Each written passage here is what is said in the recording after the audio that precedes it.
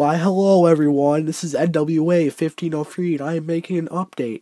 Yup. So this is kind of the first update I've ever made, so this is kind of, kind of a milestone here, as you may say. Alright, anyway, I'm fucking retarded. Anyway, so the first thing I want to talk about is, uh, this uh, Saturday, I am going to the airport. Yeah. I'm going to the airport because Dominic is flying a piece of shit Embraer 175 to O'Hare, so I'm gonna get his takeoff, film a bunch of other stuff, and uh, the highlight of the day is to be the Royal Jordanian A340, which is going to be landing, which, as DTW spotters will know, is very hard to catch. It's it's impossible, basically. So I'm kind of fucked. Anyway, yeah. So that's that. Uh, if you guys have any like suggestions on what you want me to film, just uh, put them in the comments below. Yeah, and be sure to like this video. All right. Anyway.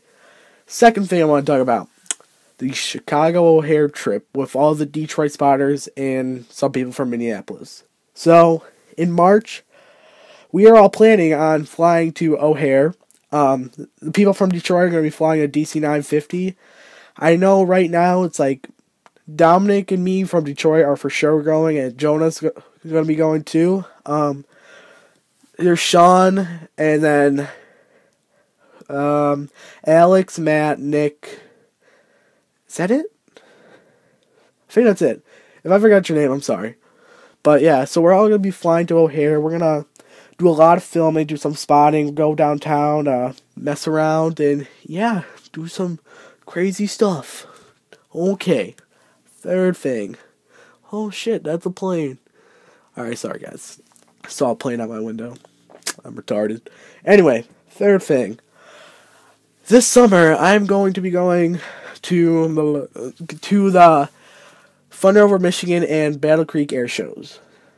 Yeah, the Battle Creek air show is really awesome. I went there for the first time last year. They have a lot of stuff there, like most more than most air shows. Uh, I know this year they have the Thunderbirds.